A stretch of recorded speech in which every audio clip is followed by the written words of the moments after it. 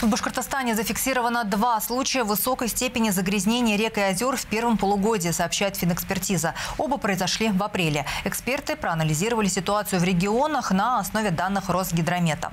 В целом специалисты отмечают, что число экстремально высокого загрязнения водоемов в стране сократилось в три раза. В республике таких случаев в первом полугодии не зарегистрировано вовсе.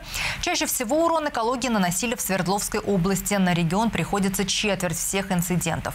Также пострадали реки реки озера Московской и Мурманской областей, около 9% случаев. По словам экологов, основные загрязнения приходятся на весну, так как в республике нет очистных сооружений ливневых стоков, и вся вода напрямую попадает в реки. На рост концентрации вредных веществ указывает обмеление белой зарастания ее водорослями. Также эксперты подвергают сомнению и приведенные финэкспертизы показатели, так как в отчеты Росгидромета не попадают данные других природоохранных органов. А заниженная статистика не позволяет привлекать дополнительные дополнительные федеральные средства на экологические цели.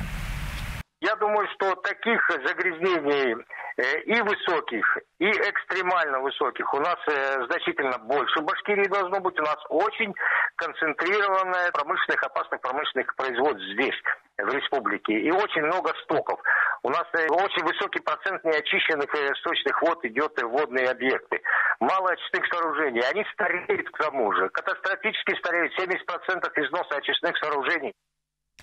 Эколог также отметил, что программа наблюдения за качеством воды в водоемах и реках предусматривает проверку примерно на два десятка веществ. Для сравнения, в Германии контролируется более 300 показателей. Кроме того, вредные вещества накапливаются в Донном Иле. Превышение достигает десятков ПДК, что приводит ко вторичному отравлению воды.